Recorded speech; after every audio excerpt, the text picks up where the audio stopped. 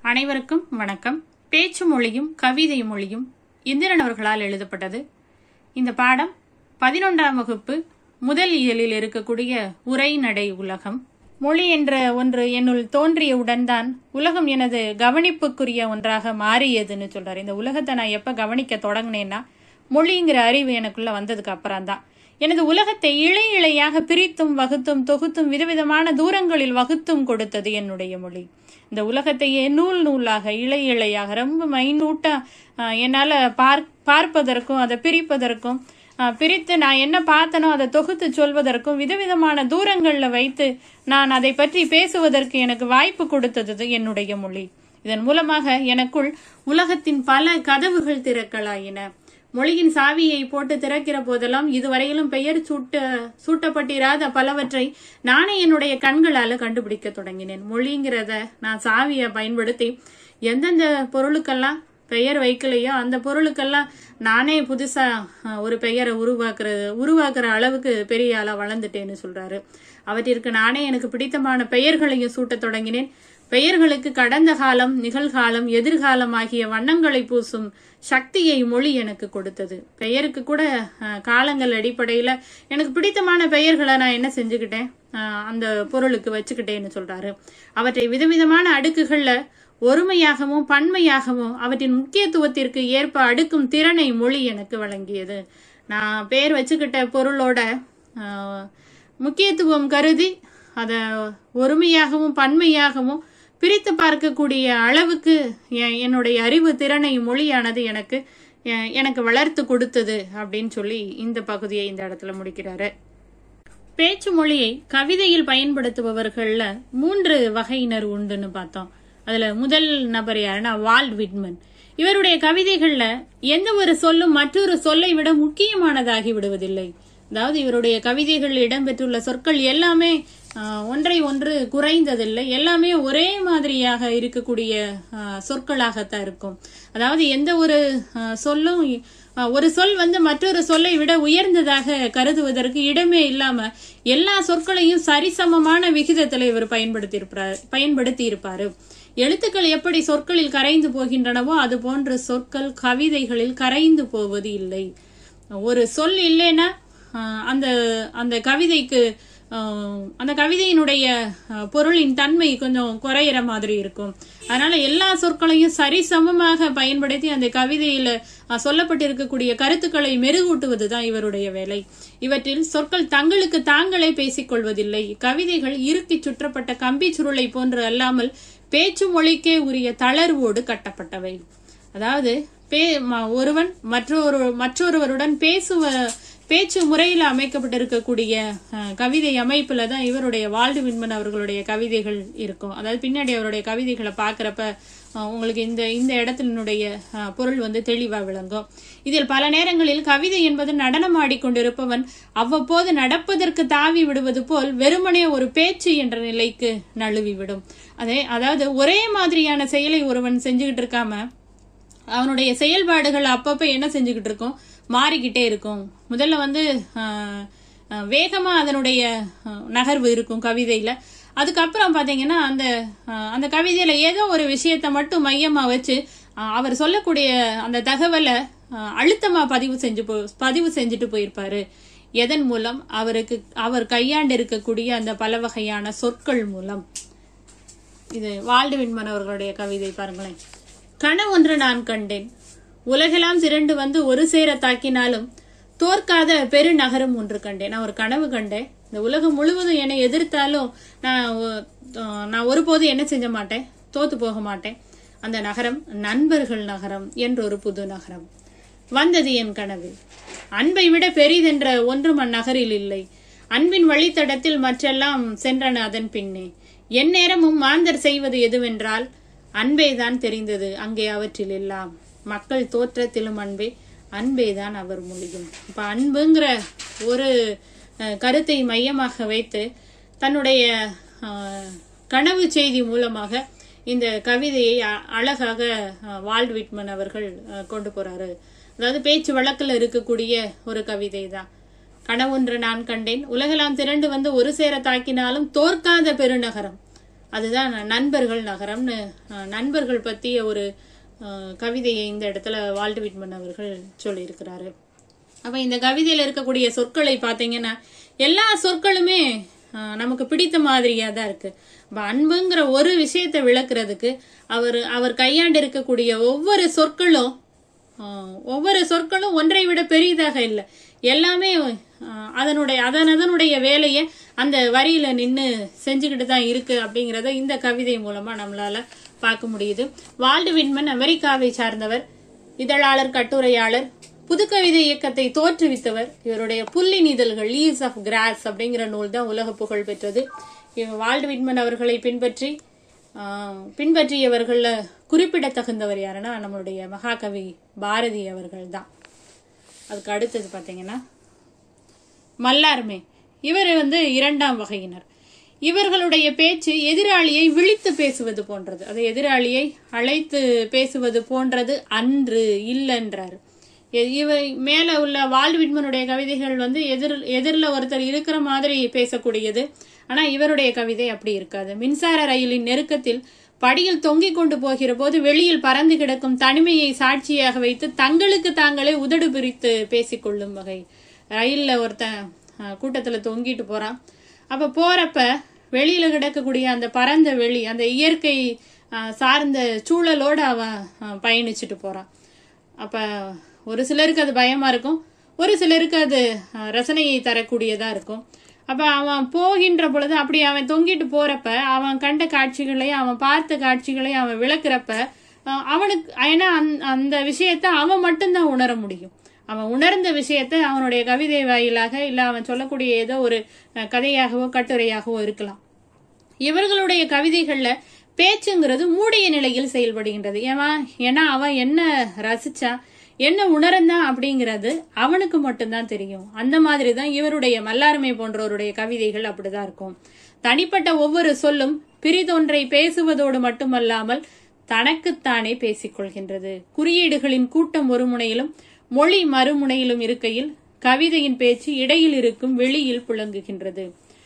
ஏதோ ஒரு குறியீட்டு பொருளை வைத்து அதாவது சொல்லக்கூடிய தகவலை வந்து நேரடியாக சொல்லாமல் ஏதோ ஒரு பொருளுக்குள் ஏதோ ஒரு சொல்லுக்குள் மறைத்து வைத்து பேசக்கூடிய பாங்கு தான் இந்த மல்லார்மை போன்றவருடைய கவிதைகள்லாம் நம்மளால பார்க்க முடியும். புத்தகங்களில் எல்லாம் நான் படித்து விட்டேன். நான் தப்பி போகத்தான் வேண்டும். நான் புத்தகத்துல எல்லாம் படிச்சுட்டேன். ஆனா நான் தப்பி எப்படியாவது தப்பிச்சு போகணும்னு நினைக்கிறாரு. அப்ப எதை பத்தி பேசுறாரு? முதல் இரண்டு வரிகள்ல ஏதோ புத்தகம் படிச்சிருக்கிறாருங்கிற ஒரு விஷயம் மட்டும் தான் தெரியுது. புத்தகத்தை படிச்சுட்டு நான் தப்பிச்சு போகணும் அப்படிங்கிற அடுத்த வரியில சொல்றாரு. அப்ப என்ன எந்த நோக்கத்துக்காக இந்த கவிதையை அவர் எழுதினாரு அப்படின்னா பின்னாடி உள்ள வரிகளை படிக்க படிக்கத்தான் புரியும். ஆனா வால்விட்மனுடைய கவிதைகள் அப்படி கிடையாது. ஆனால் உடலோ சோகத்தில் வானுக்கும் முன் பின் தெரியாத கடல் நுரைகளுக்கும் இடையே மயக்கத்தில் பறவைகள் பறப்பதை உணர்கின்றேன். பறவை அங்கங்க பறக்கிறத வானத்துல பறக்கிறத நான் பாக்குறேன். என்னோட கண்கள்ல பிரதிபலிக்கும் பழைய பூங்காக்களோ எழுதப்படாத தாளின் தூய எண்மையின் மீது என் விளக்கிலிருந்து வீசும் பயனற்ற ஒளியும். பழைய பூங்காக்களோ எதுவுமே எழுதாத ஒரு பேப்பரை நான் கையில வச்சிருக்கிறேன். என்னோட விளக்கிலிருந்து வீசும் பயனற்ற ஒளியும். என்னோட நான் வச்சிருக்கக்கூடிய அந்த விளக்குல இருந்து வரக்கூடிய ஒளி கூட எனக்கு பயனற்றதாகத்தான் தெரியுது. தன் குழந்தைக்கு பாலூட்டும் அவ்விளம் பெண்ணும் எதுவும் தடுக்காது கடல் நீரில் நனையும் இந்நெஞ்சை அப்ப ஏதோ கடல்ல பயணப்பட்டுக்கிட்டு இருக்க மாதிரி தான் இந்த கவிதை கவிதையை நகர்த்திட்டு போறாரு. நான் கிளம்பி செல்வேன் நான் இங்க இருந்து போறேன். பாய் மரங்களை தூக்கி எறிந்து விட்டிருக்கும் நீராவி கப்பலே புறப்படு. அப்ப ஏதோ ஒரு கப்பல்ல தான் போறாரு. நீராவி கப்பல்ல போறாரு. தொலைதேச இயற்கையை நோக்கி தொலை தூரத்துல இருக்கக்கூடிய இடத்தை நோக்கி நான் போறேன்றாரு. இரக்கமட்ட எதிர்பார்ப்புகளில் மனமுடைந்து ஆடும் கைக்குட்டைகளின் மகத்தான மகத்தான ஒரு வழி அனுப்பலை இன்னும் நம்பிக்கொண்டிருப்பது வேதனை. அதோ பாய்மரமின்றி போய் சேர தீவுகளின்றி மூழ்கிவிட்ட கப்பல்களின் மேல் சாய்ந்து புயலை அழைக்கும் பாய்மரங்கள் தாமே அவை. பாய்மர கப்பல்கள் எல்லாம் காற்றினுடைய வேகத்துக்கு ஏற்றவன் போலதான் பாய்மர கப்பல்கள் எல்லாம் செல்லும். ஆனால் இதோ கேள் என் நெஞ்சே மாலுமிகளின் பாடலை. அப்போ கப்பலில் பயணிக்கக்கூடிய மாலுமிகள் பற்றிய மன வேதனைகளையும் அவர்கள் சந்திக்கக்கூடிய அந்த இடர்களையும் தான் இந்த பாடலை இவர் பதிவு செய்கிறாரு அப்போ வாழ் இதுதான் குறியீட்டியம் எந்த விஷயத்தை பற்றி இவர் சொல்ல வர்றாரு அப்படிங்கிறத வந்து ஒரு ஒரு சொல்லையும் ஒரு ஒரு வரிகளையும் படிக்கிறப்ப தான் இறுதியாக புரியும். ஆனால் வால்விட்மனுடைய கவிதைகள் வந்து அந்த மாதிரி இருக்காது. அதுக்கு அடுத்தது மூன்றாவது கவிதை கவிஞர் யாருன்னா ஸ்பானிஷ் மொழி கவிஞர் பாப்லோ நெருடா. இவர் என்ன சொல்றாரு? அதாவது இதுக்கு முன்னாடி நம்ம ஒரு வரிய பார்க்கணும். குறியீட்டு கவிதை என்பது பொருளை பதிவு செய்வதென்று நினைவு கூறத்தக்க தருணங்களை பதிவு செய்வதாகும். அப்ப அந்த மாலுமியினுடைய அந்த நிகழ்வு எப்படி இருந்துச்சு? மாலுமியினோட மனசு எப்படி இருந்துச்சு? அவ- அவர் கடந்து வந்த பாதை எப்படி இருந்துச்சு? அதை பத்தினது தான் இந்த கவிதை. அப்ப எந்த பொருளை பத்தி நம்ம சொல்ல வர்றோம் அப்படிங்கறது அங்க விஷயம் இல்லைன்னு சொல்றாரு. அதுக்கடுத்தது பாப்லோ நெருடா. இதுல இவருடைய கவிதை இன்னும் கொஞ்சம் வித்தியாசமா இருக்கு. ஒரு கவிதை ஒரு பொருளை பற்றியது என்று தோன்றினாலும் அத்து அந்த பொருளை பற்றியது அன்று. அப்ப ஏதோ ஒரு விஷயத்த முதல்ல சொல்ல ஆரம்பிக்கிறாரு நம்ம பு- புரிஞ்சுக்கிட்டாலும் ஆனா கண்டிப்பா அது அதை பத்தி இருக்காதுன்றாரு. அது வாழ்க்கையின் வடிவமற்ற ஒரு தன்மையை பற்றி பேசுகின்றது. ஒரு வடிவம் கொள்ளுதல் என்பதை நோக்கி வாழ்க்கை தொடர்ந்து முயல்கிற போதும் அது இந்த முயற்சியில் ஒருபோதும் வெற்றி கொள்வதில்லை. இது போன்ற கவிதை எந்தவித முன்கூட்டிய திட்டமோ ஒழுங்கு அமைதியோ இன்றி ஒன்றை சுட்டுவது போல இருந்தாலும் ஆனா எதையும் சுட்டாமல் முடிந்து போகின்றதுன்னு சொல்றாரு ஏதோ ஒரு விஷயத்தை பத்தி சொல்ல வர்றாரு. ஆனா எதையுமே சொல்லாம அப்படியே நின்றுவாரு. நம்மளுடைய வாழ்க்கையும் அப்படிதான். ஏதோ எதையோ நோக்கி போய்கிட்டே இருக்கும். ஆனா எதை நோக்கி போறோம் அப்படிங்கிற ஒரு விஷயம் எல்லார் மத்தியிலையும் பேசப்படக்கூடியது. ஆனா வாழ்க்கை தொடர்ந்து முயல்கிற போது அது இந்த முயற்சியில் ஒருபோதும் வெற்றி கொள்வதில்லை. நம்ம ஒவ்வொரு படிநிலையா கடந்து போய்கிட்டே இருக்கோம். அப்ப நம்ம ஜெயிச்சிட்டோம் அப்படின்னு சொல்லி ஒரு இடத்துல நம்ம என்ன செய்ய முடியாது நிக்க முடியாது அதையும் தாண்டி மேல நம்ம என்ன பண்ணிக்கிட்டே தான் இருக்கணும் போய்கிட்டே தான் இருக்கணும். அது மாதிரி தான் இவருடைய கவிதை பார்த்தீங்கன்னா பாப்லோ நெருடா தென் அமெரிக்காவில் இருக்கக்கூடிய சிலி நாட்டில் பிறந்தவர் இவர். லத்தீன் அமெரிக்காவின் மிகச்சிறந்த ஒரு கவிஞர் ஆயிரத்தி தொள்ளாயிரத்தி எழுபத்தி ஒன்னுல இலக்கியத்திற்கான நோபல் பரிசு இவர் வாங்கியிருக்கிறாரு. எத்துணை பெயர்கள் திங்கட்கிழமைகள் செவ்வாய்க்கிழமைகளுடன். திங்கட்கிழமை செவ்வாய் வருது. ஆண்டு முழுவதுடன் வாரமும் சிக்கி கொண்டுள்ளது. அப்போ ஒவ்வொரு வருடத்துக்குள்ளேயும் நிறைய வாரங்கள் இருக்கு. களைத்து போனவும் கத்தரிக்கோளால் காலத்தை வெட்ட முடியாது. கத்தரிக்கோளை வச்சு இந்த காலத்தை என்ன செய்ய முடியாது? வெட்ட முடியாது. அதுவும் உழைத்து உழைத்து போன அந்த கத்தரிக்கோளால். பகலின் பெயர்கள் அனைத்தையும் இரவின் நீர் அழைக்கிறது. பகலும் வருது இரவும் வருது. இரவில் நான் உறங்குகளில் உறங்குகையில் என்னை என்னவென்று அழைக்கின்றனர்? அல்லது என்னவென்று அழைப்பதில்லை. ஒரு கேள்வியை கேட்கிறாரு. திருப்பி அந்த கேள்விக்கே ஆப்போசிட்டா இன்னொரு கேள்வியை வைக்கிறாரு. தூங்கும் போது நான் நானாக இல்லை என்றால் விழித்தெழுந்த பின் நான் யார்? அப்ப எனக்குன்னு ஒரு பேர் பேர் இருக்கு. இந்த வாழ்க்கை இப்படிதான். இரவு வருது பகல் வருது. இரவு தூங்குறோம்.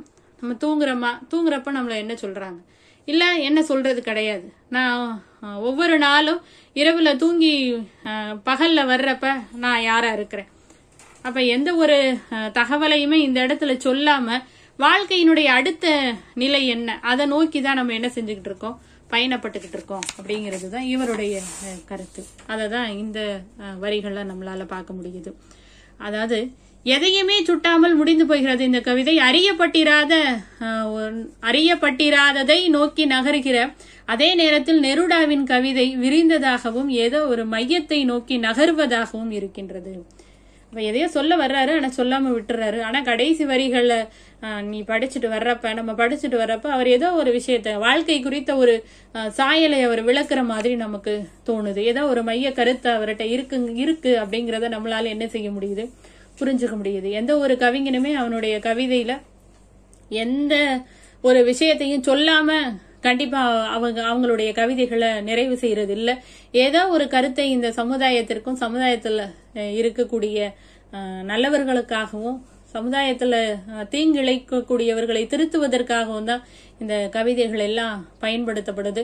அப்ப ஏதோ ஒரு மைய கருத்தை நோக்கி தான் இந்த கவிதை உலகம் போய்கிட்டு இருக்கு அப்படிங்கிறது தான் ஒரு அசைக்க முடியாத ஒரு உண்மை. அப்ப கவிதைனா என்ன? கடைசியில் ஒரு இந்த கேள்விக்கு இப்போ எனக்கு விடை விடை கிடைக்குதுன்னு சொல்றாரு. கவிதை என்பது ஒரு பொருள் என்று அது மொழிக்குள் உலகையும் உலகத்திற்குள் மொழியையும் முழுவதுமாக நுழைத்து விடுவதற்கு முயலும் தொடர்ந்த ஒரு படைப்பு செயல்பாடுன்னு சொல்றாரு. மொழிதான் உலகம் உலகம்தான் மொழி.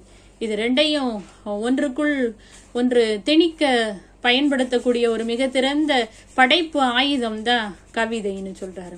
எனவே கவிதை என்பதே மொழிதான். கவிதைக்குள் உலவும் மொழியின் தர்க்கம் கவிதைக்கான உலகத்தை கட்டி எழுப்புது. கவிதைக்கு எப்போ உயிர் கிடைக்குது அப்படின்னா அந்த மொழியினுடைய ஆக்கம் மொழியினுடைய ஆளுமை அந்த கவிதைக்குள்ள போறப்பதான் கவிதைக்கான உலகத்தையே இது மொழி வந்து கட்டி எழுப்புதுன்னு சொல்றாரு. எனவே எத்தகைய மொழியை நாம் பயன்படுத்துகின்றோமோ அதன் குணாம்சங்களையும் பேச்சு வழக்குகளையும் கணக்கில் எடுத்துக்கொள்ள வேண்டியது கவிஞனுடைய கடமையாகின்றது. இப்ப கடைசியில என்ன சொல்றாரு? பேச்சு வழக்கு. முதல்ல ஆரம்பத்தில் அந்த தலைப்பை தான் பார்த்தோம். பேச்சு மொழி பேச்சு மொழி சார்ந்த சொற்களை பேச்சு மொழி சார்ந்த விஷயங்களை நீ உன்னுடைய கவிதையில கொண்டு போ. எழுத்து மொழியாக அதை மாற்றுகின்ற பொழுது உன்னுடைய வழக்க நீ ஒருபோது என்ன செய்யாத? மாத்தாதன்னு சொல்றாரு. யாருன்னா ராஜேந்திரன் அவர்கள். அதாவது இந்திரன். ராஜேந்திரன்கிறது அவருடைய இயற்பெயர். சிறந்த கலை விமர்சகர் மொழிபெயர்ப்பாளர் ஓவியர்னு பன்முகத்தன்மை கொண்டவர் இவர். ஒரிய மொழி கவிஞரான மனோரமா பிஸ்வாசினுடைய பறவைகள் ஒருவேளை தூங்க போயிருக்கலாம்ங்கிற நூலின் நூலை வந்து இவர் மொழிபெயர்த்திருக்கிறாரு. அந்த நூலை மொழிபெயர்த்ததற்காக இரண்டாயிரத்தி பதினொன்றாம் ஆண்டு இவருக்கு சாகித்ய அகாடமி விருது கிடைச்சிருக்குது. இவர் எழுதிய பிற கவிதை நூல்கள் ரெண்டு இருக்குது. ஒன்னு வந்து முப்பட்டை நகரம் மற்றொன்று சாம்பல் வார்த்தைகள். அடுத்தது இவருடைய கட்டுரை நூல்கள் தமிழ் அழகியல் நவீன ஓவியம்.